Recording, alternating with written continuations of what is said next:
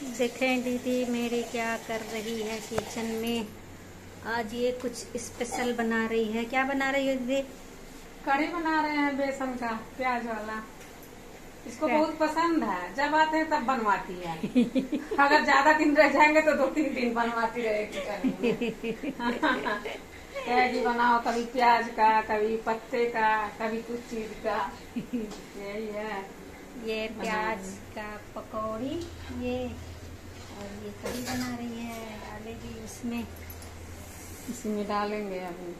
और जिसको जिसको खाना है वो आ जाए कढ़ी खाने। मेरे यहाँ। आ जाइएगा आप लोग भी टेस्ट करिए। देखिए कैसा बन रहा है। फिर कमेंट में बताइएगा। आज ये चली जाएगी शाम को। शाम को चले जाओगे ना? शाम में। शाम को चले जाएगी फिर हम अकेले रह जाएँगे। फिर आएगी अगली बार तो फिर बनवाएँगे इससे ये अच्छा बनाती है कढ़ी ना तो हम कहें चलो बना दे। हमसे नहीं बन पाता ऐसे बनाते तो हैं लेकिन ऐसे नहीं बन पाता है। तो इसलिए सोचे दीदी बना देगी। चलिए भाई जो भी देख रहा है भाई बहन बेटा बेटी जो भी देख रहा है इस हम लोग को मेरा भी है हिंदू चैनल के नाम से।